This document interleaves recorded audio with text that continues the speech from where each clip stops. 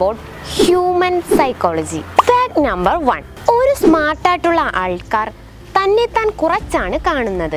അവർ അവരുടെ പൊട്ടൻഷ്യൽ മനസ്സിലാക്കാത്തതാണ് ഇതിന് കാരണം. നമ്പർ ടു നമ്മൾ ഒരാളുമായി സ്നേഹത്തിലാകാൻ നാല് മിനിറ്റ് മതി എന്നാണ് സൈക്കോളജി പറയുന്നത്. നമ്പർ ത്രീ നമ്മൾ അധിക നേരം ഉറങ്ങുന്നവരാണെങ്കിൽ ഉറക്കത്തിനോടുള്ള അഡിക്ഷൻ കൂടാൻ സാധ്യതയുണ്ട്. ഈ അഡിക്ഷൻ ഒരു ലഹരി പദാർത്ഥം എടുക്കുന്നതിന് തുല്യമാണ്. നമ്പർ ഫോർ ഈ ലോകത്ത് എയ്റ്റി പെർസെന്റേജ് ആൾക്കാരും നെഗറ്റീവ് ചിന്തകളിൽ നിന്ന് രക്ഷപ്പെടാൻ മ്യൂസിക്കിനെയാണ് ആയുധമായി കാണുന്നത്. നമ്പർ ഫൈവ് നമ്മൾ കണ്ണടയ്ക്കുന്നത് മൂലം നമുക്ക് ഒരുപാട് കാര്യങ്ങൾ ഓർത്തെടുക്കാൻ സാധിക്കും എന്നാണ് പറയുന്നത്.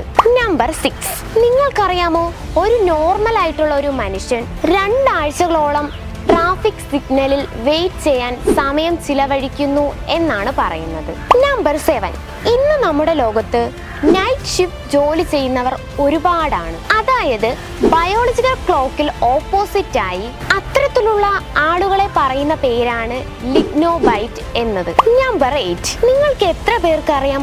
ഒരു മണിക്കൂറോളം ഹെഡ്ഫോൺ ഉപയോഗിച്ചാൽ നമ്മുടെ കാതിൽ ഓൾറെഡി ഉള്ള ബാക്ടീരിയസിനെക്കാളും അഞ്ഞൂറ് മടങ്ങ് വർദ്ധിക്കുമെന്ന്. ഇതിന് കാരണം നമ്മുടെ കാതിൽ ഹെഡ്ഫോൺ ഉപയോഗിച്ചാൽ കാതിലെ എയർ സപ്ലൈ കുറയുകയും ഇത് ബാക്ടീരിയയെ ആക്റ്റീവ് ആക്കുകയും ചെയ്യും. വീഡിയോ ഇഷ്ടപ്പെട്ടാൽ നിങ്ങൾ ആരും ചാനൽ സബ്സ്ക്രൈബ് ചെയ്യാൻ മറക്കല്ലേ? അടുത്തൊരു വീഡിയോ കാണും വരെ. C you soon